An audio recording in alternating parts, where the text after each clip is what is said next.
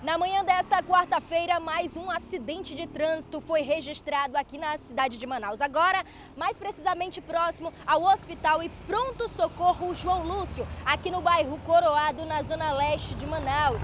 De acordo com as informações, esse homem, que seria vítima desse acidente, estava pilotando uma motocicleta quando colidiu em um veículo de modelo não identificado.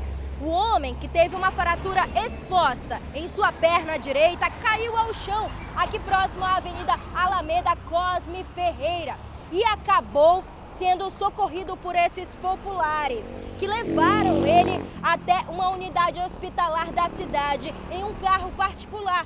Seria esta uma caçamba, na qual tentou levar o homem até o hospital. Agora, nos vídeos que você confere na sua tela, é possível ver a movimentação dessas pessoas tentando ajudá-lo e também fazendo de tudo para que ele não se mexa no momento em que a perna dele está ferida. As causas do acidente não foram informadas e possivelmente vão ser investigadas para que se saiba o que de fato teria levado esse carro e essa moto colidirem aqui na Avenida Cosme Ferreira.